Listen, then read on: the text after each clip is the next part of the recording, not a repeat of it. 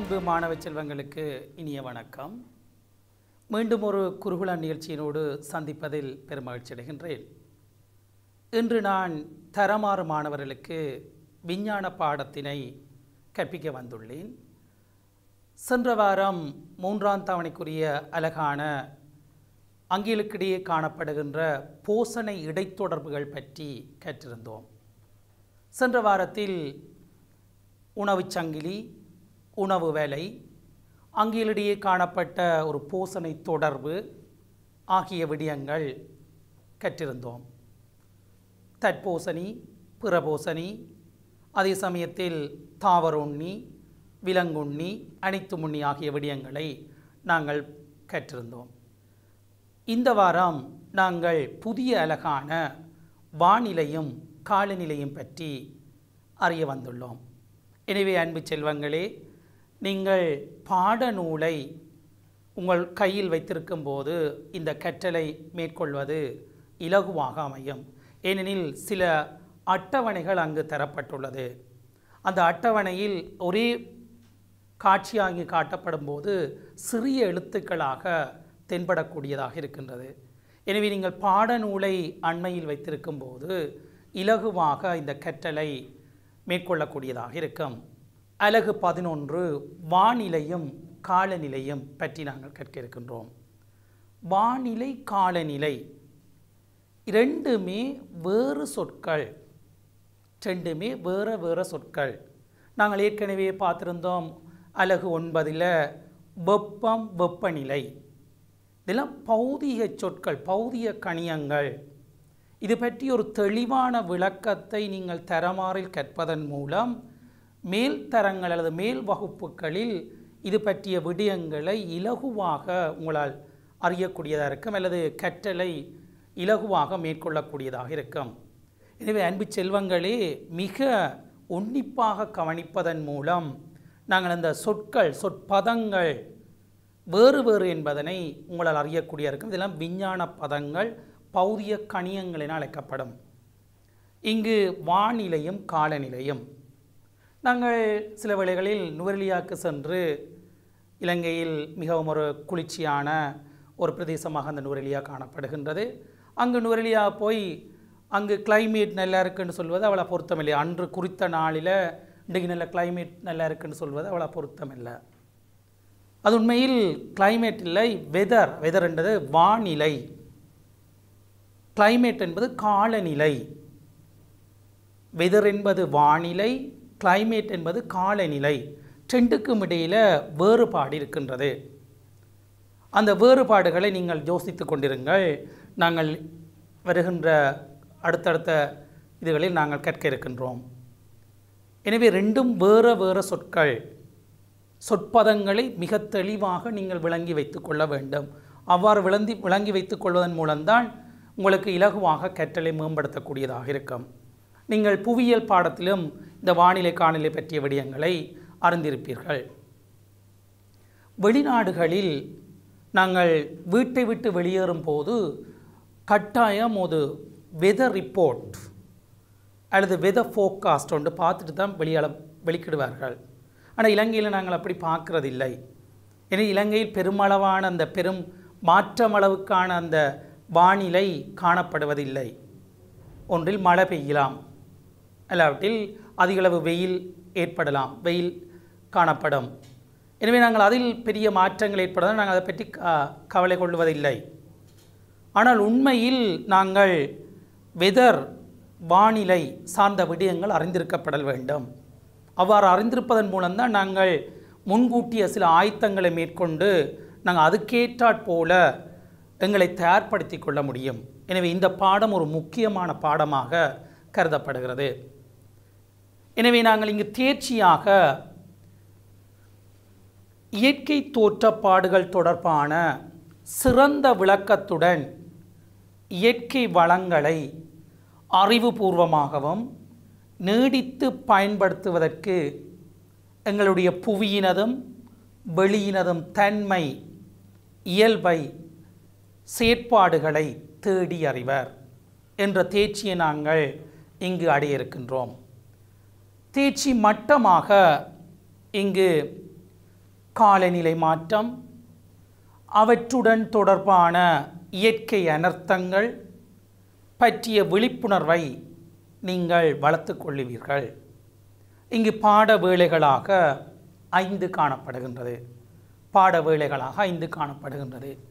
எனவே நாங்கள் இந்த காலநிலை மாற்றங்கள் வானிலை மாற்றங்கள் அதே சமயத்தில் இயற்கை அனர்த்தங்கள் இலங்கையை பொறுத்தவரையில் அந்த இயற்கை அனர்த்தமண்டதுக்கு முக்கியத்துவம் அளிக்கப்பட்டது எப்பவெனில் இருபத்தி ஆறு பன்னிரெண்டு ரெண்டாயிரத்தி நான்காம் ஆண்டு நடைபெற்ற அந்த சுனாமி அனர்த்தத்தின் பின்னர் தான் அந்த இயற்கை அனர்த்தம் என்றால் இவ்வாறு காணப்படுகிறது என இலங்கை மக்கள் உணர்ந்து கொண்டார்கள்.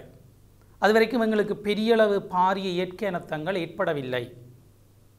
இயற்கை அனர்த்தம் என்பது மனித தலையீடின்றி மனிதனுக்கும் அவனுடைய உடைமைகளுக்கும் அதே நேரத்தில் புவிக்கோளத்துக்கும் ஏற்படுத்துகின்ற ஒரு இயற்கை நிகழ்வு தான் இந்த இயற்கை அனர்த்தம்.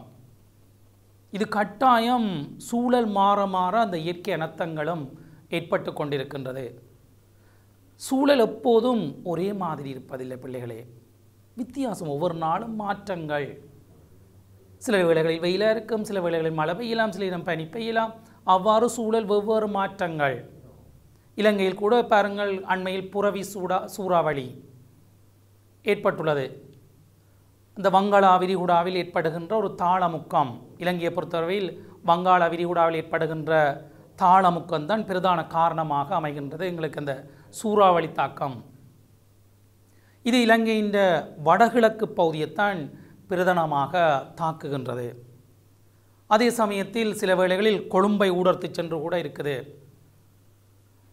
மூன்று சூறாவளிகள் எமது இலங்கை நடுப்பகுதியினூடாக ஊடர்த்து சென்ற சந்தர்ப்பங்களும் காணப்படுகின்றது. எனவே இந்த சூறாவளிகள் காரணமாக பல்வேறு பொருட்சேதங்கள் உயிர் சேதங்கள் ஏற்படுகின்றது. எனவே இந்த இயற்கை அனர்த்தங்கள் பற்றிய விடயங்கள் எல்லாவற்றையும் கற்பதற்கு கட்டாயம் இது சார்ந்த விடயங்கள் எங்களுக்கு தெரிஞ்சிருக்கப்பட வேணும்.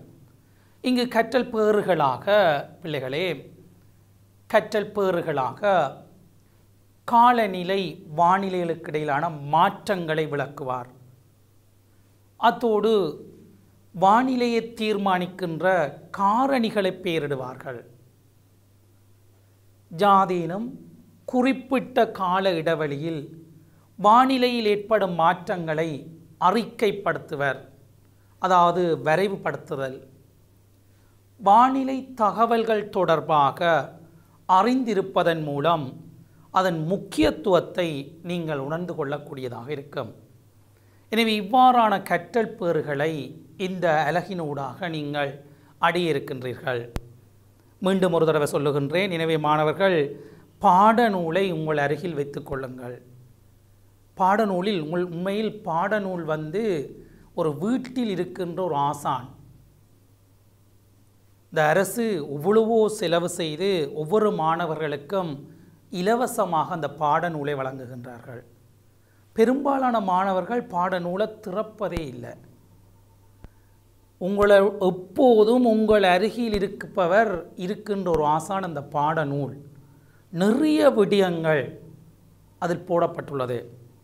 எவ்வளோ காட்சி படங்கள் அதில் காட்டப்பட்டுள்ளது. அதை நீங்கள் சுயமாக கற்றலின் மூலம் அந்த பாடம் சார்ந்த தெளிவான விளக்கத்தை பெறக்கூடியதாக இருக்கும். உங்களுடைய தாய்மொழியில் போடப்பட்டுள்ளது. எனவே தாய்மொழியில் இடப்பட்ட விடயங்களை நீங்கள் அதனை வாசிப்பதன் மூலம் பல்வேறு விடயங்களை உங்களால் கற்கக்கூடியதாக இருக்கும்.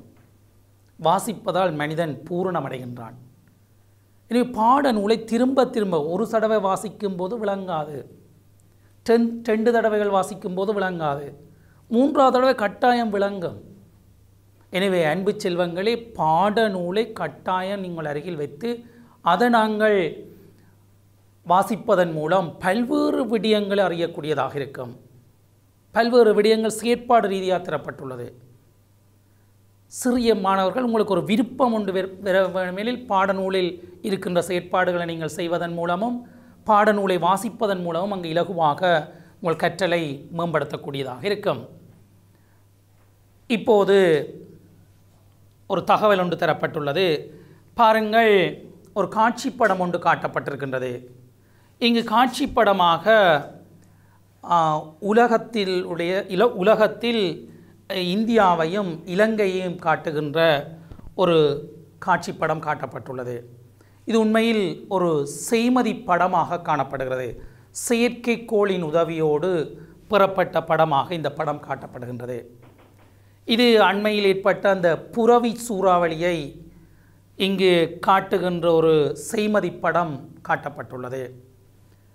இலங்கையை எவ்வாறு ஊடறுத்திச் செல்வது என்பதனை காணக்கூடியதாக இருக்கின்றது. இங்கு ஒரு தகவல் ஒன்று தரப்படுகிறது செய்திகள் முடிந்த முடிகிற தருவாயில் உங்களுக்கு வானிலை அறிக்கை வெதர் ரிப்போர்ட் அல்லது வெதர் ஃபோகாஸ்ட் ஃபோகாஸ்ட் என்பது சில தகவல்களை முன்கூட்டியே அதாவது சில விடயங்களை முன்கூட்டியே தெரிவிப்பது. இப்போ வெதர் ஃபோகாஸ்ட் அல்லது வெதர் ரிப்போர்ட் உங்களுக்கு தரப்படுகிறது. உண்மையில் வெதர் வானிலை அறிக்கை அவ்வாறு உங்களுக்கு வாசிக்கப்படும் போது அல்லது சொல்லப்படும் போது அவர்கள் பல்வேறு நாடுகள் ஒரு நாட்டிலேயே பல்வேறு இடங்களில் இருந்த தரவுகள் எல்லாம் பெறப்பட்டு அதிலிருந்து ஒரு முடிவு பெறப்பட்டுத்தான் உங்களுக்கு அந்த வானிலை அறிக்கை அல்லது வானிலை வித ஃபோகாஸ்ட் வந்து உங்களுக்கு வழங்கப்படுகிறது. அது எல்லா செய்திகள் முடிவதும் வானிலை சார்ந்த விடயங்கள் உங்களுக்கு தரப்படும். அவ்வாறு ஒரு விடயம்தான் இங்கு காட்டப்பட்டுள்ளது. வடக்கு கிழக்கு மாகாணங்களில் மழை பெய்யலாம். மழை வேளையில் மேல் தென் சப்ரகம் உவா மாகாணங்களில் இடியுடன் கூடிய மழை பெய்யக்கூடும். அந்த சந்தர்ப்பங்களில் தற்காலிகமாக கடுங்காற்றும் வீசலாம். இடி மின்னல் தாக்கங்களிலிருந்து பாதுகாத்து கொள்ள தேவையான நடவடிக்கைகளை மேற்கொள்ளுமாறு வானிலை அவதான நிலையம் மக்களை கேட்டுக்கொள்கின்றது. எனவே அங்கு கேட்கப்பட்டுள்ளது மேலே குறிப்பிட்ட விடியம் யாதென கேட்கப்பட்டுள்ளது. யாவரும் அறிந்த விடியம் இது ஒரு வானிலை அறிக்கை வெதர் ரிப்போர்ட் அல்லது வெதர் ஃபோகாஸ்ட் அதாவது வானிலை தொடர்பான விடயங்களை மக்களுக்கு தெரியப்படுத்துகின்றது. இது வானிலை அவதான நிலையத்தினால் ஒவ்வொரு நாளும் குறிப்பிட்ட நேரத்தில் சில விடயங்களை எடுத்து இலங்கையை பொறுத்தவரையில் இலங்கையில் யாழ்ப்பாணம் மட்டக்களப்பு திருகோணமலை கண்டி அவ்வாறு பல்வேறு பிரதேசங்களில் இருந்து தரவுகளை எடுத்து இலங்கையின் தலைமை காரியாலயம் ஆன வானிலை அவதானிப்பு நிலையம் காணப்படுகின்ற பௌத்தலோக மாவத்தைக்கு அங்கு தரவுகள் அனுப்பப்பட்டு அங்கிருந்து சில செயற்பாடுகள் மேற்கொள்ளப்பட்டு வேறு நாடுகளிலிருந்தும் இந்தியா ஜப்பான் போன்ற வேறு நாடுகளிலிருந்தும் தரவுகள் பெறப்பட்டு ஒரு தொகுப்பாக இந்த வானிலை அறிக்கை வெளியிடப்படுகின்றது. இது பெய்யலாம் என்று தான் சொல்லப்படுகிறது. அதாவது எதிர்காலத்திலும் சொல்லப்படுகிறது. கட்டாயம் அவ்வாறு நடக்கணும் என்று இல்லை. பெரும்பாலும் எதிர்கூற விடயங்கள் நடைபெறும். ஏனெனில் இது விஞ்ஞானபூர்வமான ஒரு தகவல்கள். எனவே அவ்வாறு நடைபெறலாம். எனவே நாங்கள் அதற்கான ஆயத்தங்களை மேற்கொள்ளக்கூடிய இருக்கு அன்பு பிள்ளைகளை. நீங்கள் கட்டாயம் இந்த வானிலை சார்ந்த விடயங்களை கருத்தில் கொள்ள வேண்டும். எம் எங்களுடைய மாணவர்களை பொறுத்தவரையில் அல்லது எங்களுடைய மக்களை பொறுத்தவரையில் இந்த வானிலை தகவல்களை நாங்கள் அவதானிப்பது சரியான குறைவாக காணப்படுகிறது.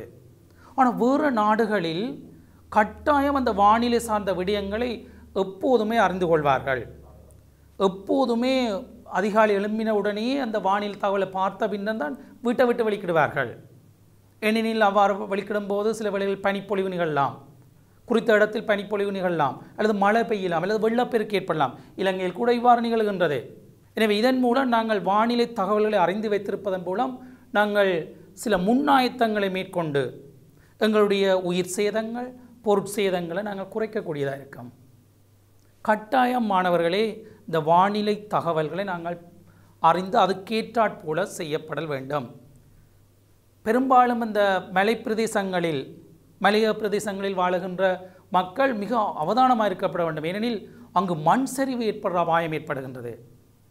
அவ்வாறு ஏற்படும் போது சில வேளைகளில் இந்த வானிலை அவதான நிலையங்களோ அல்லது வேறு திணைக்களங்களோ அந்த இடத்தை விட்டு விலகுமாறு பணிக்கப்பட்டிருப்பின் மக்கள் அந்த இடத்தை விட்டு விலக வேண்டும். இது எங்களுடைய வீடு ஐயோ என்ன செய்கிறது அப்படி நாங்கள் பார்க்கும்போது எங்களுடைய உயிர் சேதம் இடம்பெற்றிடும். உயிர் இருந்தால் தான் மேனிய பொருட்கள். எனவே எங்களுக்கு உயிருக்கு முதல் இடம் கொடுக்கப்படல் வேண்டும். எனவே அன்பு செல்வங்களே கட்டாயம் இந்த வானிலை தொடர்பான விடயங்களை நீங்கள் அறிந்திருத்தல் வேண்டும். இங்கு ஒரு செய்மதி படம் தான் இங்கு காட்டப்பட்டுள்ளது. செய்மதிகள் மூலம் பெறப்பட்ட ஒரு படம் இங்கு காட்டப்பட்டுள்ளது. எனவே இவ்விடயம் வந்து வானிலை அறிக்கையை இங்கு குறிப்பிடப்பட்டிருக்கிறது. வானிலை அறிக்கை. தொடர்ச்சியாக இந்த வானிலை அவதான நிலையம் எங்கு காணப்படுகின்றது? வானிலை அவதான நிலையம் தின் தலைமை காரியாலயம் கொழும்பு பௌத்தலோக மாவட்டத்தில் அமைந்துள்ளது. இது தலைமை காரியாலயமாக காணப்படுகின்றது.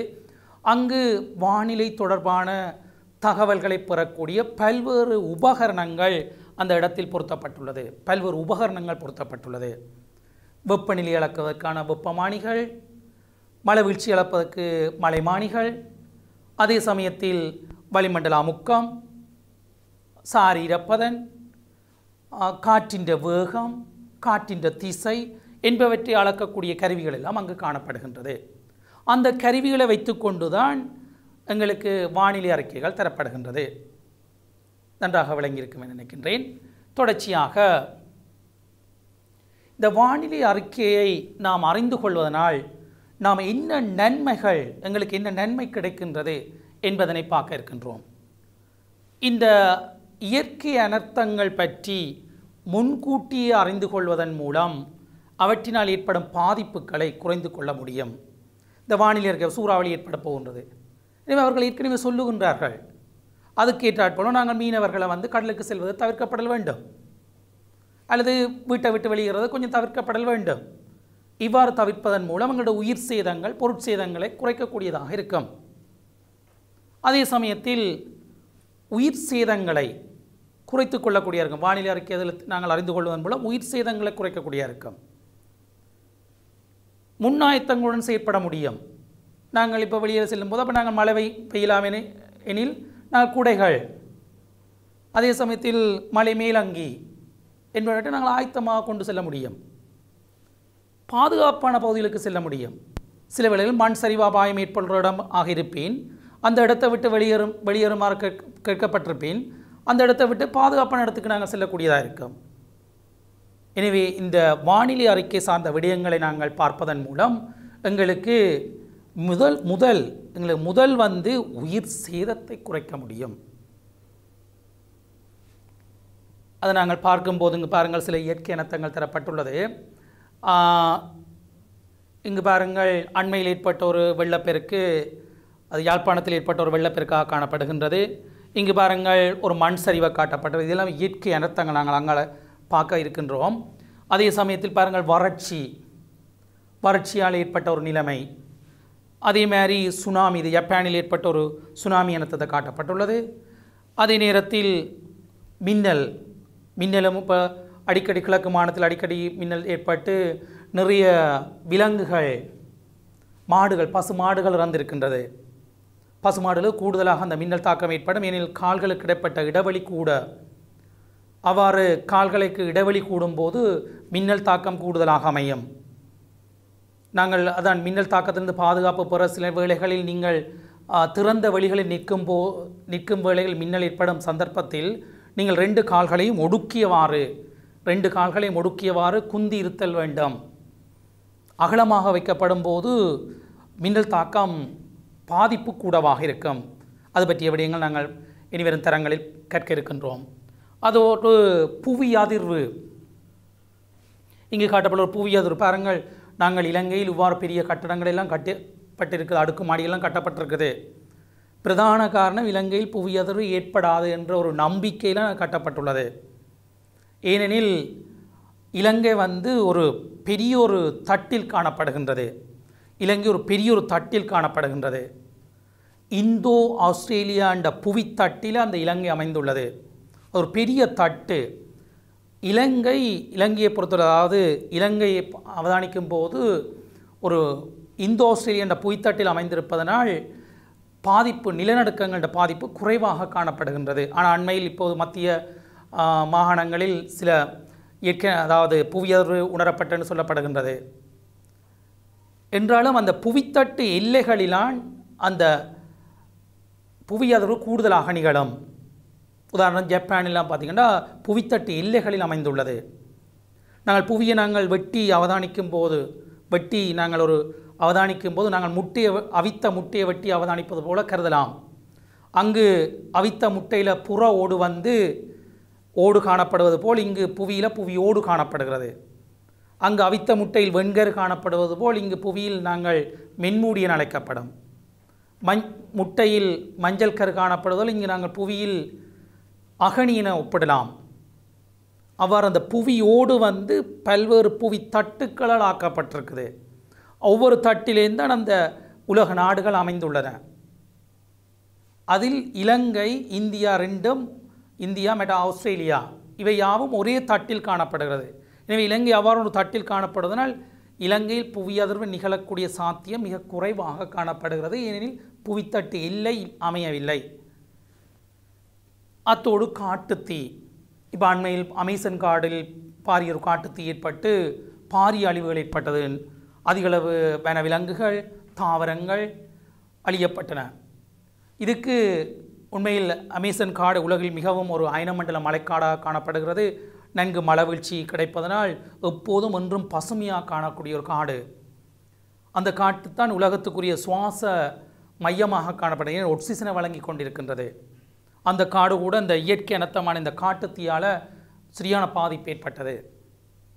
எனவே அன்பு செல்வங்களே இந்த இயற்கை அனர்த்தங்களை முன்கூட்டி அறிகிறதுக்கு இந்த வானிலை போன்ற தகவல்கள் எங்களுக்கு தேவை. எனவே நாங்கள் அதில் அறிந்து கொள்ளப்படல் வேண்டும்.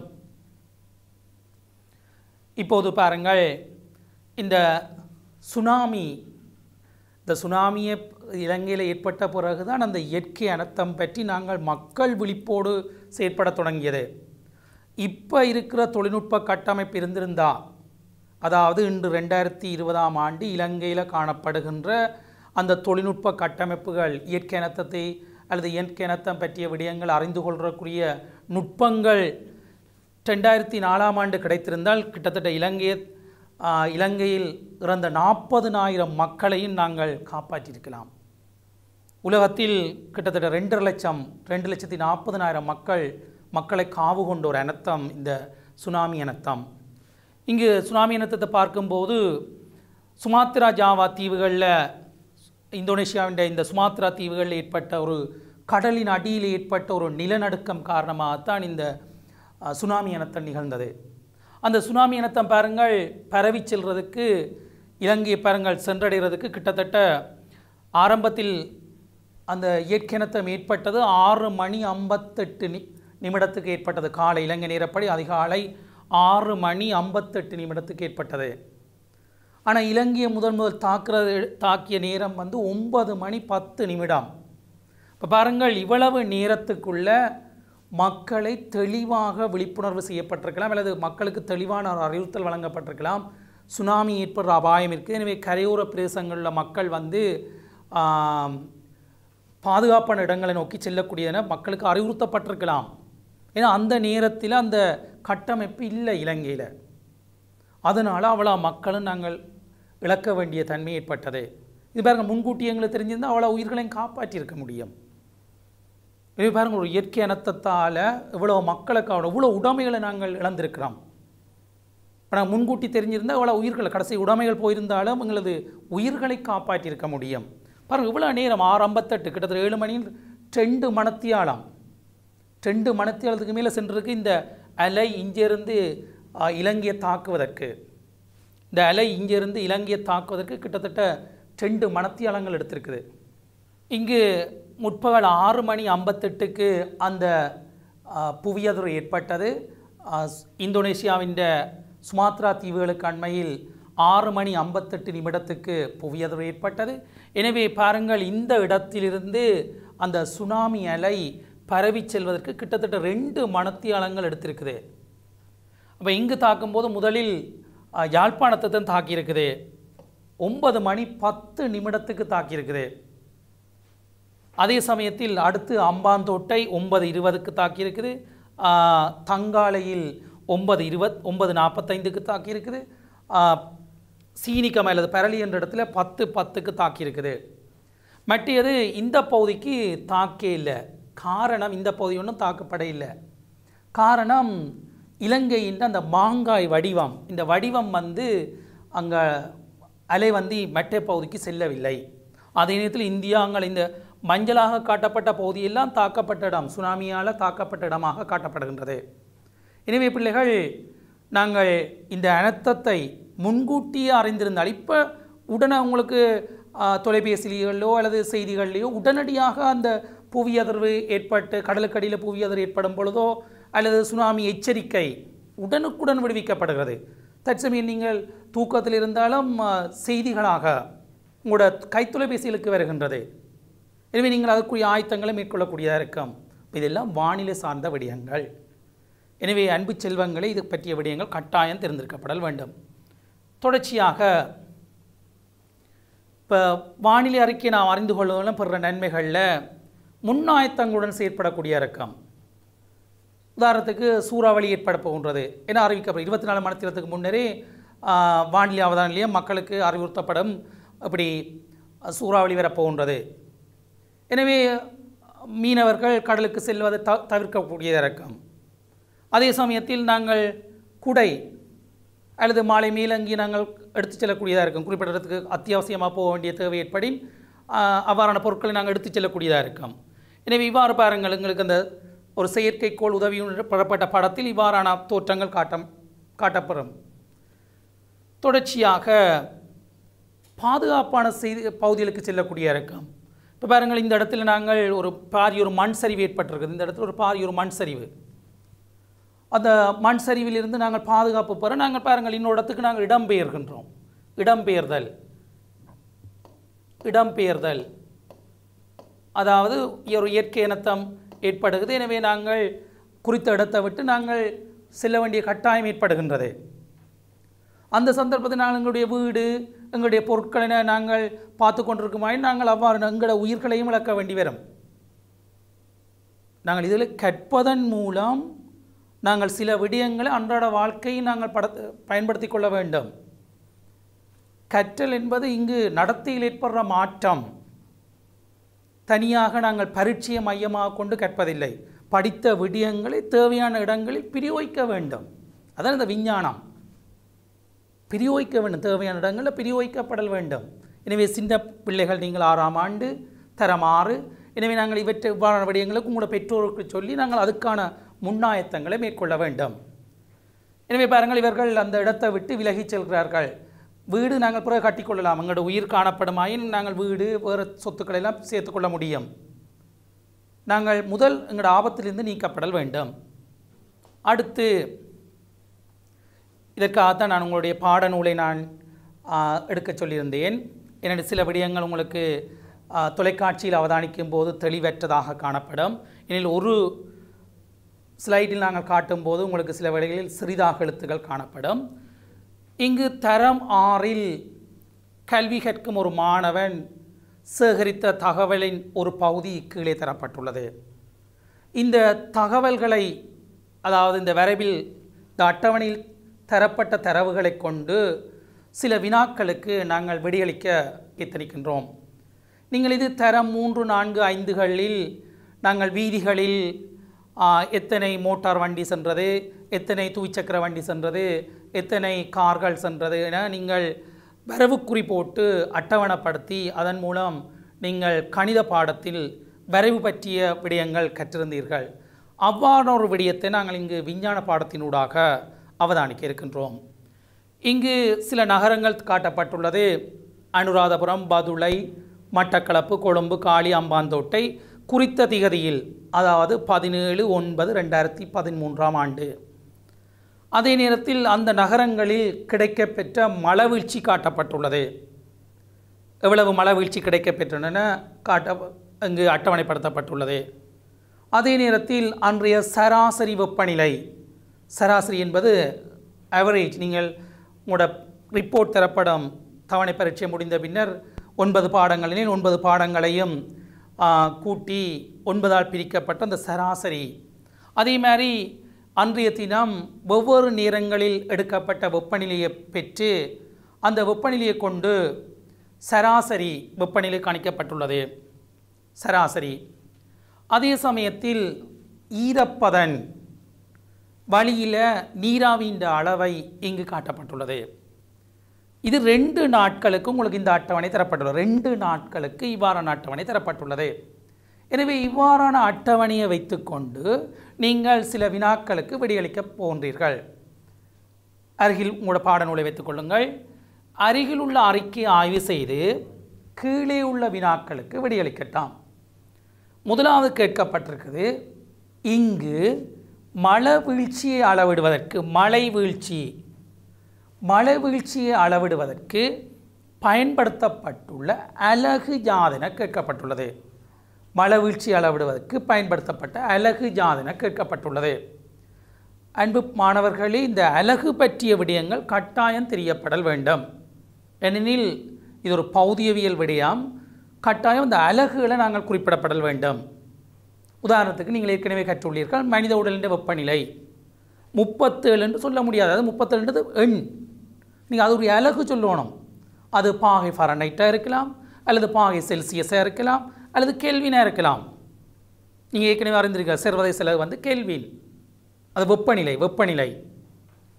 எனவே அலகும் குறிப்பிட வேண்டும். இங்கு கேட்டப்பட்டது மழவீழ்ச்சி அளவிடுவதற்கு என்ன அலகு நீங்கள் வானிலை அறிக்கையின் போது இப்போது அடிக்கடி கேள்விப்பட்டிருப்பீர்கள் இருநூறு மில்லிமீட்டர் மழவீழ்ச்சி நூற்றி எண்பது மில்லிமீட்டர் மழவீழ்ச்சி நேற்று கிடை கொழும்பு மாவட்டத்தில் கிடைத்த ம மழவீழ்ச்சியின் அளவு நூற்றி எண்பது மில்லிமீட்டர் மழவீழ்ச்சி அவ்வாறு நீங்கள் வானிலை அறிக்கையின் போது கேள்விப்பட்டிருப்பீர்கள்.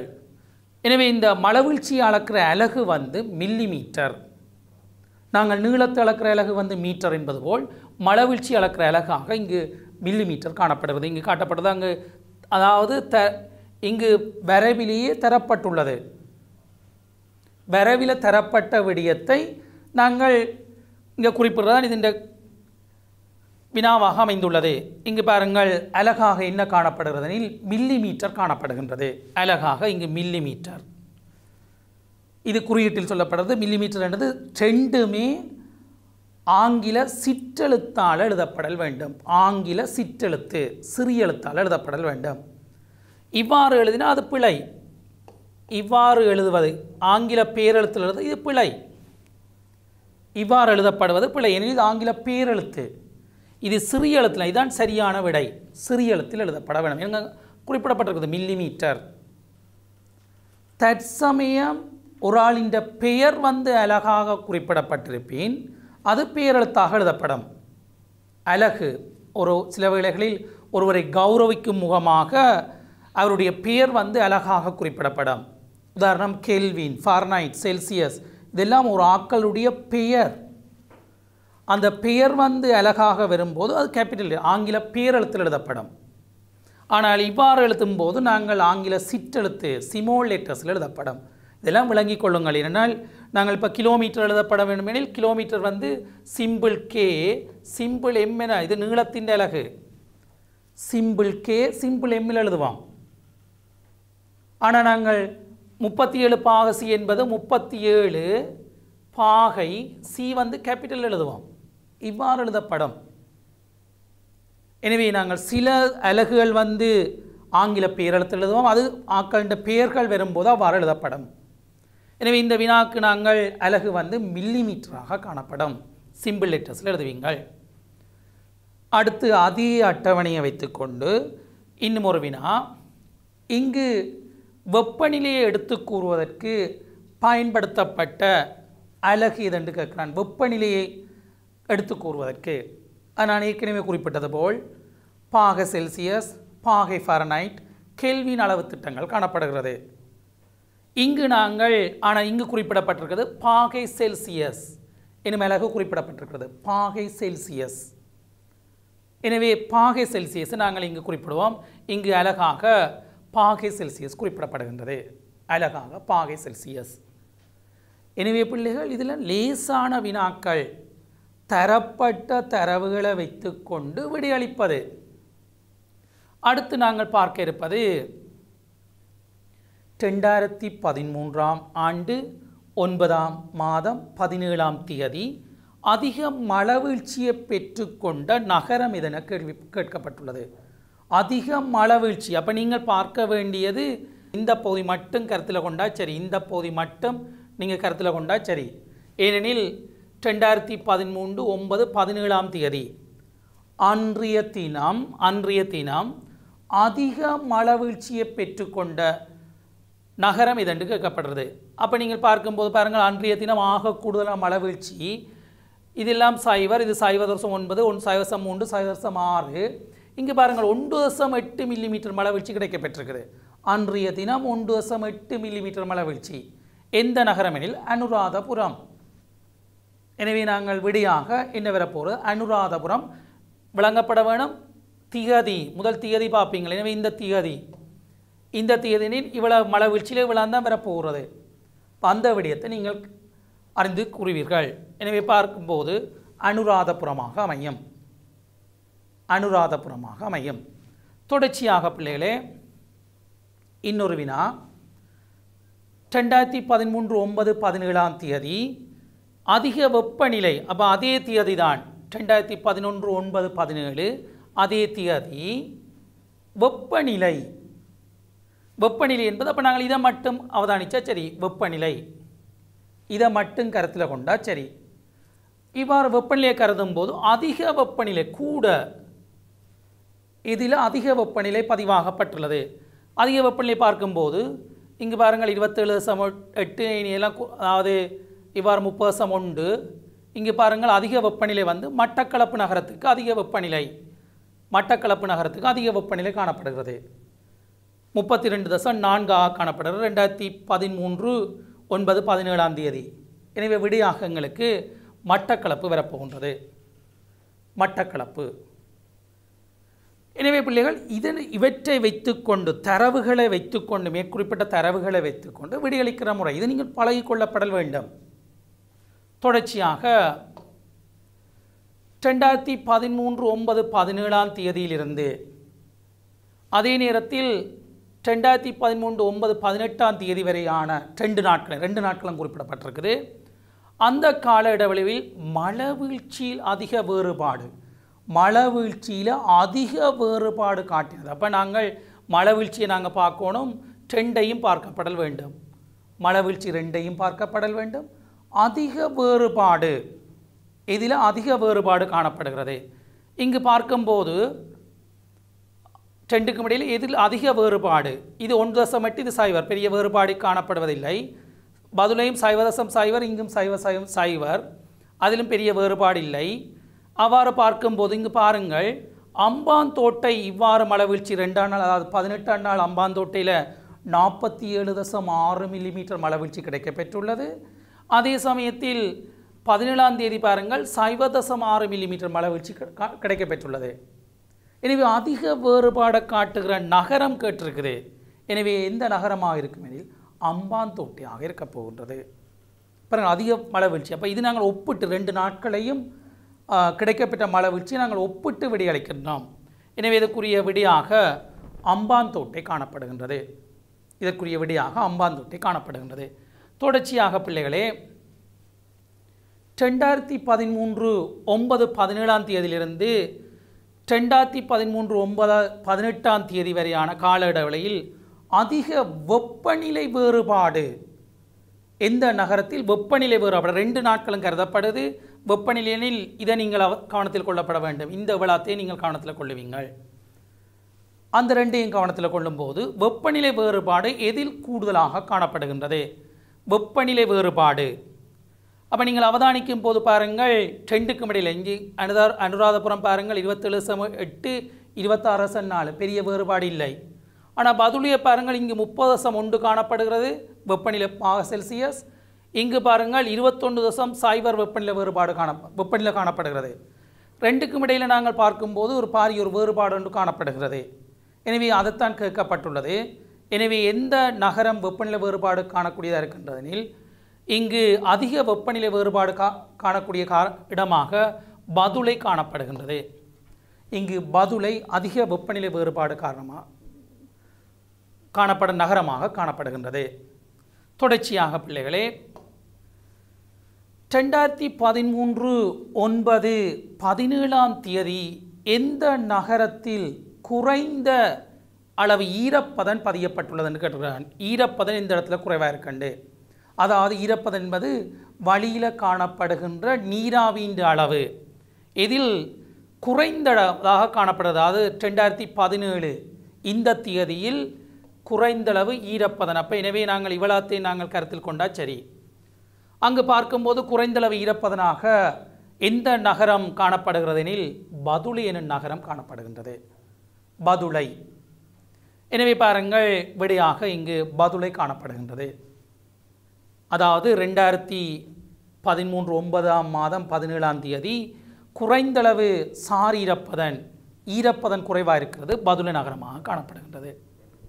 தொடர்ச்சியாக ரெண்டாயிரத்தி பதிமூன்று ஒன்பது பதினெட்டாம் தேதி நீர் வினா ஏழில் குறிப்பிட்ட நகரத்தின் வினா ஏழில் குறிப்பிட்ட நகரம் வந்து பதுளை கேட்கப்பட்டது பதுளைன்ற பதுளை நகரத்தின் ஈரப்பதன் எப்போ வேண்டா பதினெட்டாம் தேதி.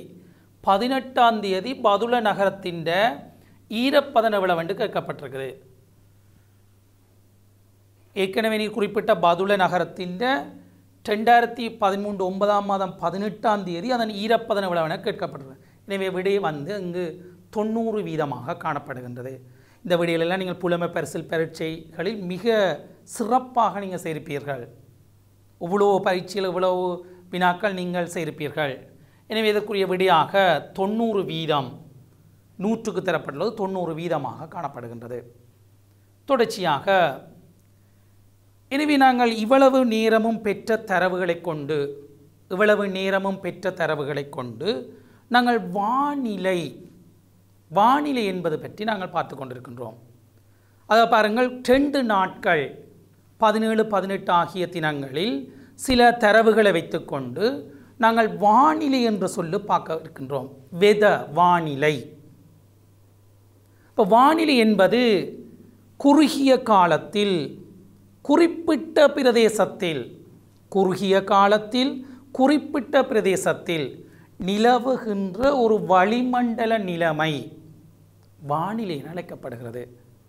வடிவாக விளங்கப்பட வேண்டும். குறிப்பிட்ட ஒரு பிரதேசம் சொல்லப்பட வேண்டும். குறுகிய காலம் பாருங்கள் அன்றைய தினம்.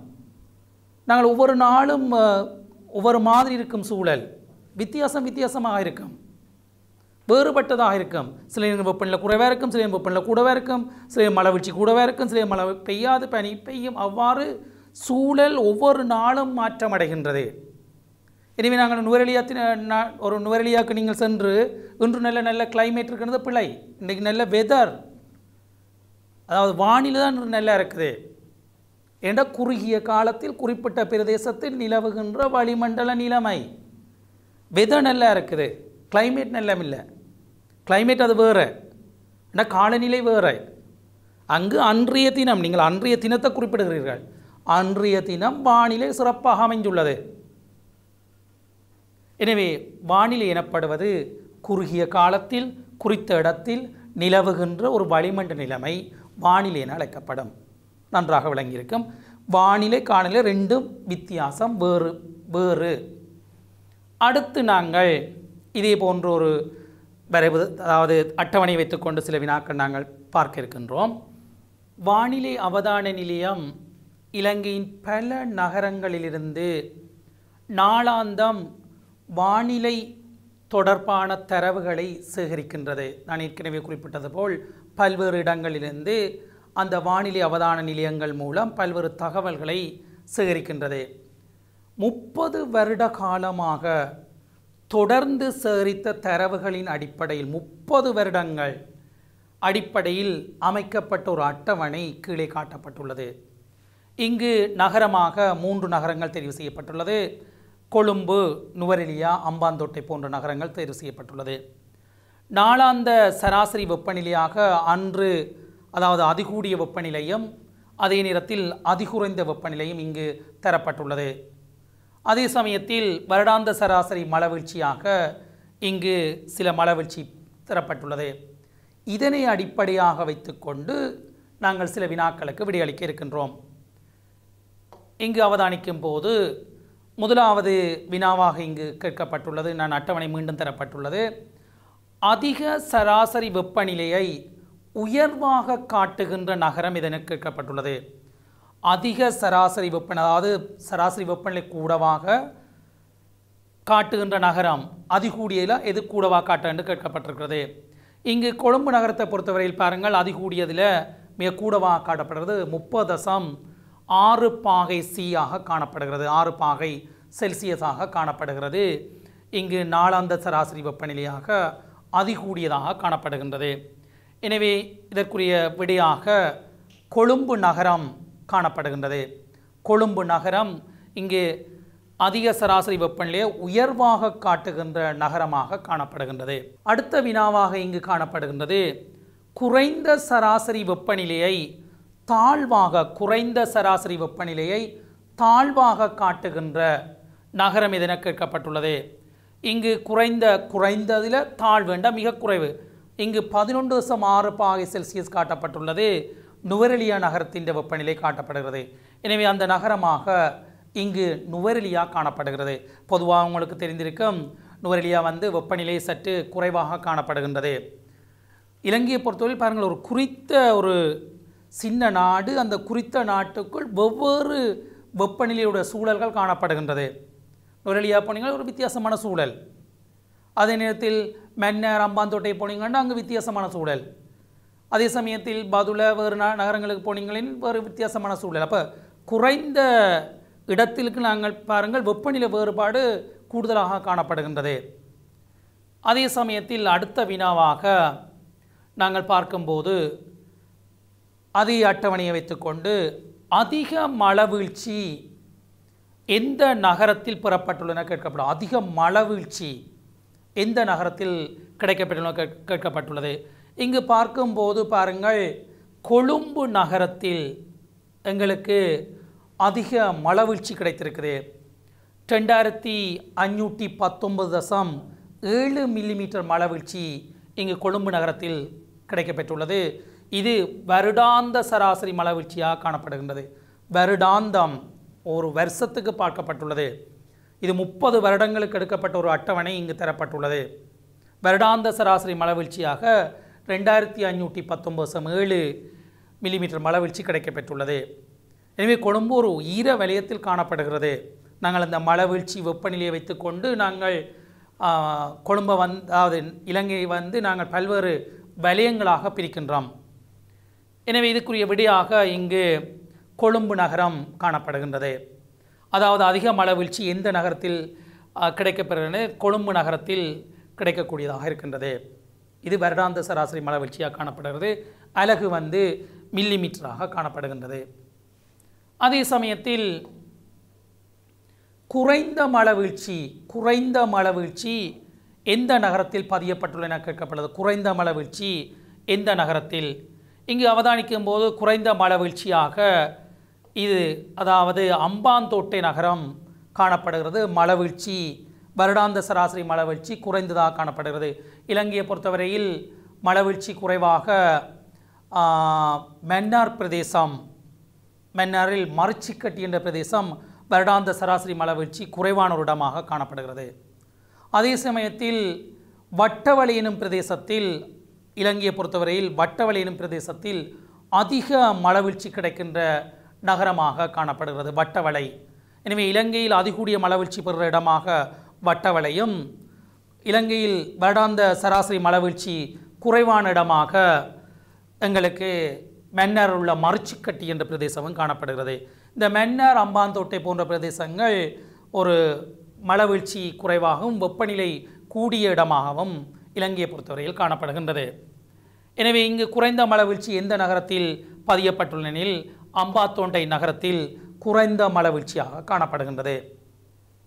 எனவே நீங்கள் இந்த அட்டவணைகள் அல்லது தரவுகளை வைத்துக்கொண்டு விடியலுக்க நீங்கள் பழகிக்கொள்ள வேண்டும். இதுவும் ஒரு கற்றல் பேராக இந்த பாடத்தில் காணப்படுகிறது. அட்டவணையை வைத்துக்கொண்டு நாங்கள் விடியளிக்க பழகிறது.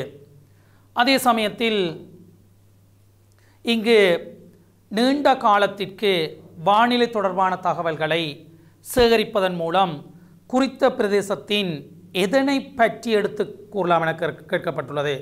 எதனை பற்றி கூறலாம் என்று இது வந்து சொல்லப்படுது நீண்ட காலத்திற்கு இந்த அட்டவணை முப்பது ஆண்டுகள் எடுக்கப்பட்டிருக்குது. முப்பது ஆண்டுகள் முப்பது வருடங்கள் முப்பது ஆண்டுகள் எடுக்கப்பட்டு தான் இந்த வ- அட்டவணை பெறப்பட்டுள்ளது.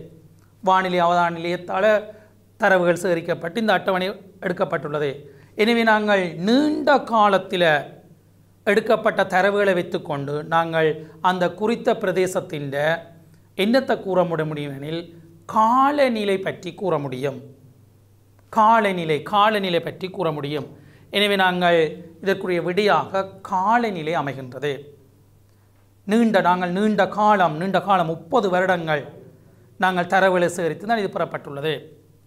எனவே அடுத்த பிள்ளைகள் வினா ஐந்தில் கூறிய விடயத்தை கூறுவதற்கு தரவுகள் சாதாரணமாக எத்தனை வருடங்களுக்கு பெறப்பட வேண்டும் என கேட்கப்பட்டுள்ளது. அன்னளவாக முப்பது வருடங்கள் எடுத்துத்தான் இந்த தரவுகள் எடுக்கப்பட்டு அந்த காலநிலை பற்றிய விடயங்களை குறிப்பிட முடியும். எனவே பாருங்கள் முப்பது வருடங்கள் நீண்ட காலம் நீண்ட காலம் எடுக்கப்பட்ட தரவுகளை வைத்துக்கொண்டு தான் இந்த காலநிலை பற்றி நாங்கள் குறிப்பிட முடியும். அடுத்து நாங்கள் இது இந்த வினாவாக நாங்கள் அடுத்த பகுதிக்கு செல்ல இருக்கின்றோம் இங்கு கொழும்பு நகரில் அதிக மலவீழ்ச்சி பெறப்பட்டுள்ள மாதம் இதற்கு கேட்கப்பட்டுள்ளது. கொழும்பு நகரில் அதிக மலவீழ்ச்சி. நாங்கள் வரைவை பார்க்கும்போது கொழும்பு நகரில் பாருங்கள் இந்த மாதம் அதிக மழவீழ்ச்சி அதாவது அக்டோபர் மாதம் எங்களுக்கு அதிக மலவீழ்ச்சி கிடைக்கப்பெற்றுள்ளது. எனவே எங்களுக்கு அதிக மழவீழ்ச்சி கிடைக்கப்பெற்ற மாதமாக அக்டோபர் மாதம் காணப்படுகின்றது. அதிக மழவீழ்ச்சி பார்க்கும்போது பாருங்கள் கிட்டத்தட்ட அக்டோபர் மாதம் முன்னூற்றி ஐம்பது மில்லிமீட்டர் மழவீழ்ச்சி எங்களுக்கு கொழும்பு நகரில் பதிவாகியுள்ளது. அடுத்து அந்த அதை அதே கேள்வி கேட்கப்பட்டுள்ளது. அந்த மழவீழ்ச்சியின் அளவு என்னென்று கேட்கப்பட்டுள்ளது. அந்த மழவீழ்ச்சியின் அளவு யாதென கேட்கப்பட்டுள்ளது. இங்கு மழவீழ்ச்சியின் அளவாக இங்கு பாருங்கள் காணப்படுகிறது. முப் முன்னூற்றி ஐம்பது மில்லிமீட்டர் மலவீழ்ச்சி காணப்படுகின்றது. முன்னூற்றி ஐம்பது மில்லிமீட்டர் மலவீழ்ச்சி காணப்படுகின்றது. எனவே நாங்கள் பார்க்கும்போது இங்கு கட்டாயமானவர்கள் முன்னூற்றி ஐம்பதனுடன் அலகும் குறிப்பிடப்படல் வேண்டும். நாங்கள் இவ்வாறான விடயங்களை எழுதும்போது கட்டாயம் அலகு குறிப்பிடப்பட வேண்டும். அதை நான் ஏற்கனவே குறிப்பிட்டிருந்தேன். கட்டாயம் அலகும் குறிப்பிடப்பட வேண்டும். முன்னூற்றி ஐம்பது மில்லிமீட்டர் மலவீழ்ச்சி. அடுத்ததாக நாங்கள் கொழும்பு நகரில் எந்த மாதத்தில் குறைந்தளவு மழவீழ்ச்சி பெறப்பட்ட என கேட்கப்பட்டுள்ளது. குறைந்தளவு மழவீழ்ச்சி. நாங்கள் குறைந்தளவு மழவீழ்ச்சியை பார்க்கும்போது எங்களுக்கு பிப்ரவரி மாதத்தில் பாருங்கள் இந்த பிப்ரவரி மாதத்தில் எங்களுக்கு குறைந்த மழவீழ்ச்சி கிடைக்கப்பெற்றுள்ளது. எனவே நாங்கள் இங்கே அவதானிக்கும் போது பிப்ரவரி மாதத்தில் எங்களுக்கு குறைந்தளவான மழவீழ்ச்சி கிடைக்கப்பெற்றுள்ளது. தொடர்ச்சியாக கொழும்பு நகரின் மாதாந்த சராசரி வெப்பநிலையே கீழே தரப்பட்டுள்ளது. இந்த வரவை கொண்டு கீழுள்ள வினாக்களுக்கு விடையளிக்க சொல்லப்பட்டிருக்கிறது. வெப்பநிலையை கொண்டு. இங்கு வெப்பநிலையை கருதும் போது நாங்கள் முதலாவது வினாவாக எந்த மாதத்தில் வெப்பநிலை மிக அதிகமாக காணப்படுகிறது கேட்கப்பட்டிருக்கிறது. வெப்பநிலை பாருங்கள். எந்த மாதத்தில் எனில் ஏப்ரல் மாதத்தில் எங்களுக்கு வெப்பநிலை மிக கூடுதலாக காணப்படுகிறது ஏப்ரல் மாதத்தில் வெப்பநிலை கூடுதலாக காணப்படுகின்றது. இங்கு பார்க்கும்போது ஏப்ரல் மாதத்தில் வெப்பநிலை அதிகமாக காணப்படுகின்றது.